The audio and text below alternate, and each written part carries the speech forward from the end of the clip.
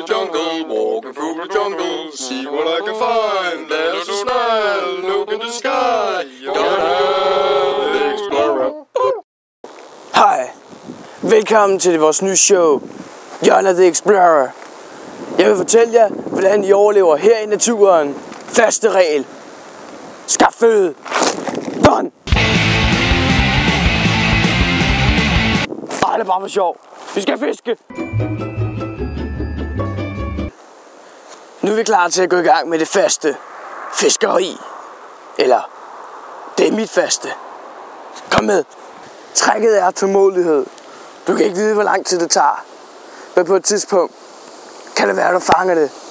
Der kan måske gå en time, to. Men til sidst, så er der altså mad. Nu må vi bare vente.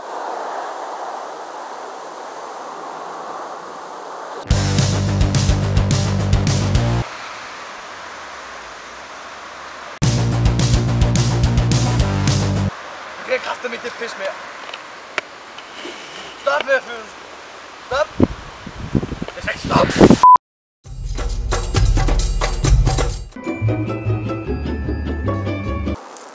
Hej.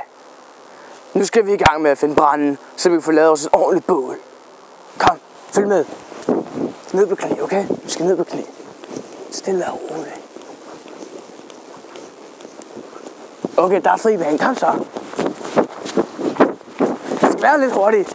Okay, nu er vi herinde. Nu er det bare med at komme i gang. Og husk, nøglen er at skaffe så meget brand som muligt. Okay, vi skal ud nu. Vi skal ud nu.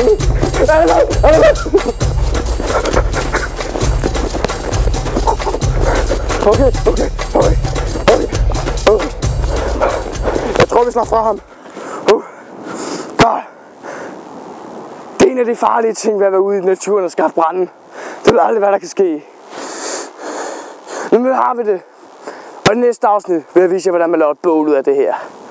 Hej.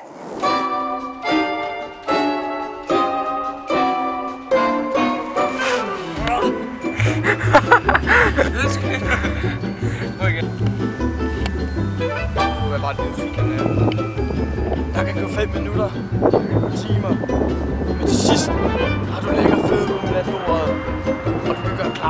til næste år, føde